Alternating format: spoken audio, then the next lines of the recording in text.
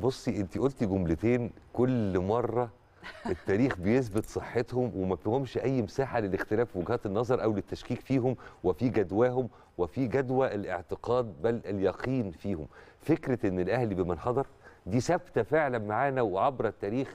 كان في محكات مختلفة كان فيها مساحة كافية لإثبات العكس. لم يثبت العكس. دايما بتنتهي الأمور النهايه المنطقية اللي بتصب في الآخر في إن فعلا الأهلي بمن حضر.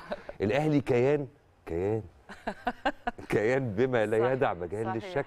روح الفانيلا الحمراء اللي انت ختمتي كلامك برضو بالكلام عنها. فعلا حاضرة معانا دايما وثابتة معانا دايما وبتعمل شغل نار في أحلك الظروف.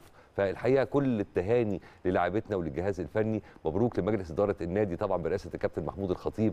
مبروك مرة تانية وثالثه لجمهور النادي الأهلي في كل مكان لكل نجوم النادي الأهلي.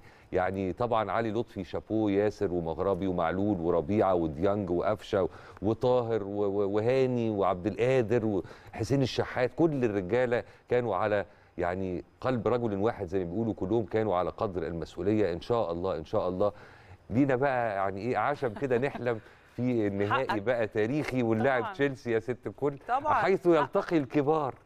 أنت فاهمة؟ وعلى فكرة صدقت هي يعني فعلا حيث يلتقي الكبار. وارد جدا وارد جدا وإن شاء الله تكون يعني آه، رجالة النادي الأهلي حاضرين في الزمان والمكان في مواجهة بقى ال- الكتيبة اللي حضراتكم أكيد أدرى مني بيها بكتير لوكاكو وجورجينيو وحكيم زياش وإدوارد مندي وطبعا بقيادة المدرب المخضرم توماس آه، توخل يعني طول ما انت بتلعب في الأهلي فبالتالي سقف طموحك ملوش حدود.